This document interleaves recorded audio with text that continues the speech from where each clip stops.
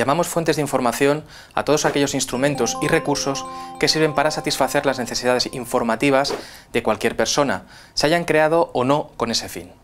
El objetivo de las fuentes de información es el de facilitar la localización e identificación de cualquier tipo de documento.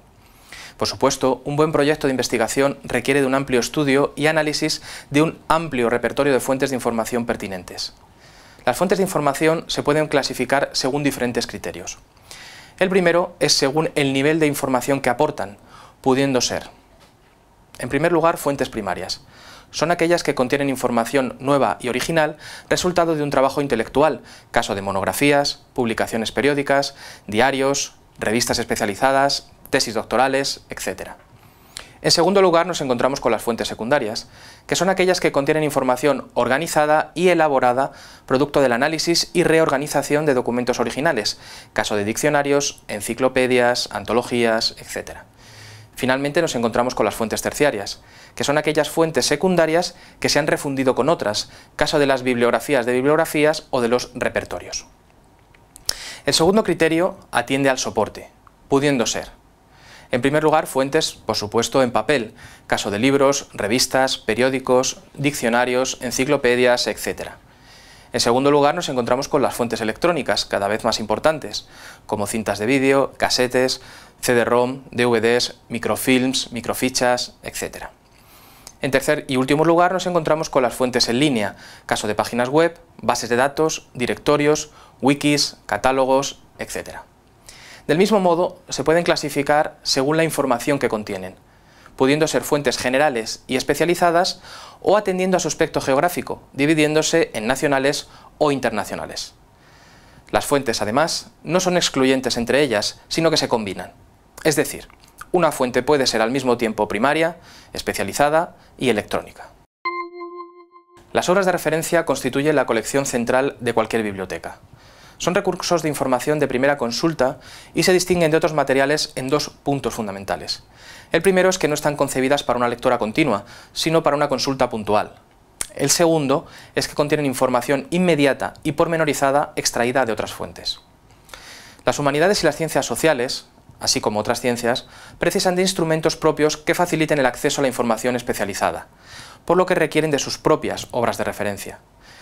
Entre ellas nos encontramos con diccionarios, enciclopedias, biografías y repertorios biográficos, anuarios, atlas, crónicas, bibliografías y también repertorios bibliográficos. En la actualidad, y como todos sabemos, Internet se está constituyendo en una nueva herramienta de información que, si bien aún no ha eliminado las fuentes tradicionales, está modificando la forma de acceder a las mismas, a la información y a los propios documentos en general. Debido a ello, es obligado su conocimiento por todas aquellas personas que deseen o necesiten estar preparadas para la sociedad de la información que nos está tocando vivir. Las ventajas de Internet en el proceso informativo son muy relevantes, pues unen en un mismo medio, la red, todas las fuentes tradicionales de información. Del mismo modo, permite acceder a nuevas fuentes de información o a fuentes difíciles de conseguir por medios tradicionales. Y finalmente, es un medio económico en relación a las propias fuentes tradicionales. Por el contrario, los inconvenientes que encontramos son que proporciona gran cantidad de información dispersa, sin orden ni clasificación en muchas ocasiones, por lo que encontrarla puede convertirse en una tarea farragosa. Igualmente, el grado de mutabilidad y obsolescencia es muy alto, y finalmente no toda la información en la red tiene el mismo valor informativo, es necesario discriminarla. En este curso nos centraremos en dos fuentes electrónicas fundamentales para abordar cualquier trabajo académico, ya que en sí acogen al resto de materiales bibliográficos o no que podamos necesitar. En primer lugar, nos encontramos con los catálogos de acceso público en línea, que en inglés responden a las siglas de OPAC, u Online Public Access Catalog, y es la herramienta de información más utilizada por los usuarios en una biblioteca o archivo.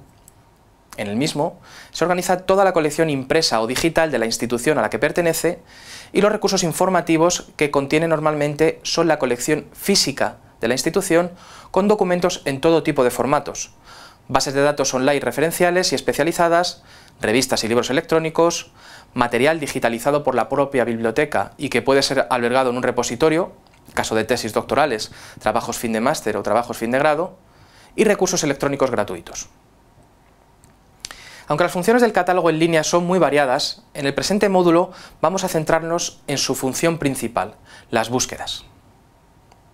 En segundo lugar, nos encontramos con las bases de datos, concepto que se define como la colección de datos o registros almacenados electrónicamente con una interfaz común para el usuario y un software para la recuperación y gestión de la información.